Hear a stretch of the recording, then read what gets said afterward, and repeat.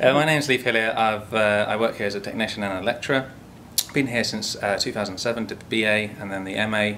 Um, I work as a radio technician and also as a general LCM technician.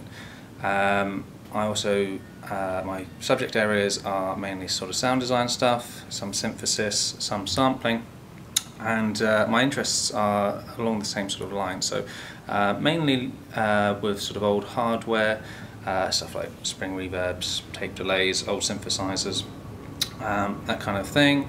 Uh, make music under the name Magic Pockets and also have a band uh, called Doubleheads which are um, mainly sort of festival based bands and we've been playing some stuff like Glastonbury since early 2000s, that kind of thing.